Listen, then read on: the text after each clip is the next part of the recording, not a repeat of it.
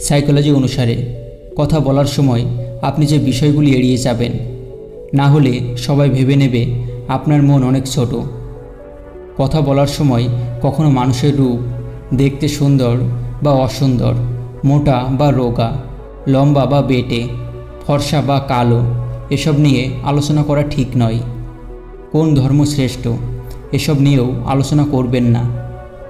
Psychology অনুসারে যদি কোনো মেয়ে সারাদিন লাভ সং শোনে। তাহলে বুঝবেন তার জীবনে কেউ এসছে। অর্থাৎ সে রিলেশনশিপে গিয়েছে।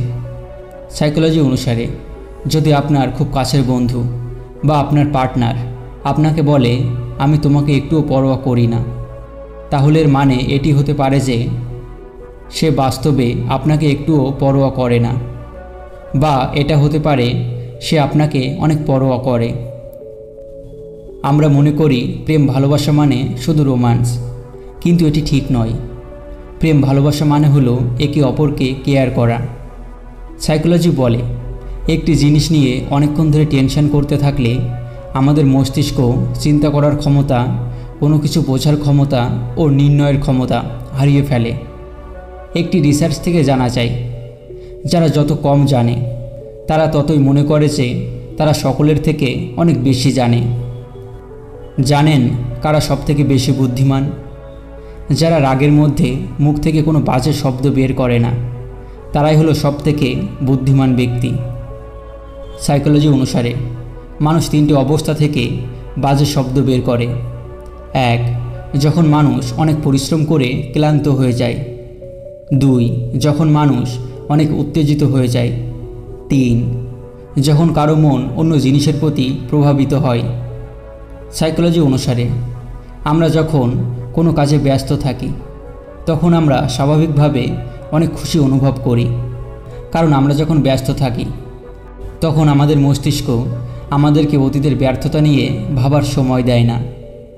একটি কথা সবসময় মনে রাখবেন, পাথরে উচট খেয়ে পড়ে যাবেন, তাতে কিছু আসে যায় না, কিন্তু কখনো কারও নজর থেকে নিচে পড়ে যাবেন না। যদি কেউ আপনার চলার পথে বড় গর্ত খুঁড়ে দেয়, তাহলে পথ চলা বন্ধ করবেন না বা তাদের উপর ক্ষোভ প্রকাশ করবেন না। কারণ তারাই আপনাকে শেখাবে কীভাবে লাভ মারতে হয়। কিছু মানুষ এমনও আছে, যারা প্রয়োজনের সময় আপনার পা ধরবে, কিন্তু যখন প্রয়োজন ফুরিয়ে যাবে, তখন সে আপনাকে চিনবেও না। সাইকোলজি বলে যে আপনার মনের অবস্থা জেনেও চুপ করে থাকবে। এবং আপনাকে কষ্ট দেবে। সে কখনো আপনার হতে পারে না। আপনি কি জানেন ছেলেদের চোখে মেয়েদের আসল সৌন্দর্য কী বা কিসে? বেশিরভাগ ছেলেদের মতে নারীদের আসল সৌন্দর্য হচ্ছে তার শরীর। অনেক উচ্চশিক্ষিত এবং উঁচু ডিগ্রিধারীরাও এমন মনোভাবেই বিশ্বাসী।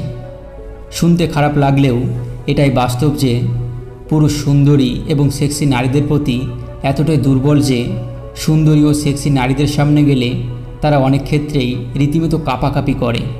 কাজেই বলা যায় যে, বেশিরভাগ ক্ষেত্রেই পুরুষ নারীর শারীরিক সৌন্দর্যে বেশি কাবু হন। পুরুষ শাসিত সমাজে যে নারী যত বেশি হট এবং সেক্সি পুরুষের কাছে তার চাহিদা তত বেশি।